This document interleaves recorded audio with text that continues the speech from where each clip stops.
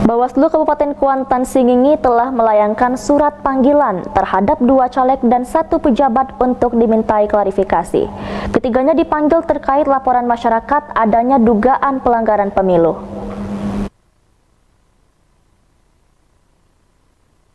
Laporan masyarakat terkait adanya dugaan pelanggaran pemilu saat ini telah masuk dalam proses penyelidikan Sentra Gakumdo, Kabupaten Kuantan Singingi di mana dalam laporan tersebut ada tiga orang yang menjadi terlapor, yaitu dua dari caleg dan seorang pejabat pimpinan.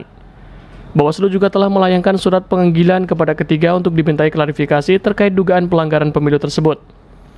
Seperti diketahui, Bawaslu Kabupaten Kuantan Singingi menerima dua laporan dugaan pelanggaran pemilu. Satu laporan dugaan pelanggaran pemilu telah masuk dalam proses penyelidikan. Sementara untuk kasus dugaan pelanggaran pemilu lainnya, yaitu dugaan tidak kenetralan PNS telah dihentikan karena tidak adanya bukti dan saksi.